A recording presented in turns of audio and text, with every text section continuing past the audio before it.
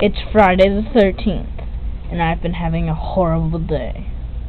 But Shirley hasn't! My name is Shirley! Hello, Shirley. How are ah, you? I'm pretty good now. I got some donuts coming. I did some Oreos and chocolate cow milk. It went. it went to go boom. That's my. The end.